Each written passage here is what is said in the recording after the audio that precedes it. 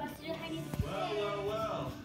Look who came to dance one last pickle. Hey, Mr. March, or should I say, Mr. March your ass out of here on a stretcher. That was tortured, like your forehand. I hope you got your hot dog ready because you were about to be relish, my friend. Bring the pickle!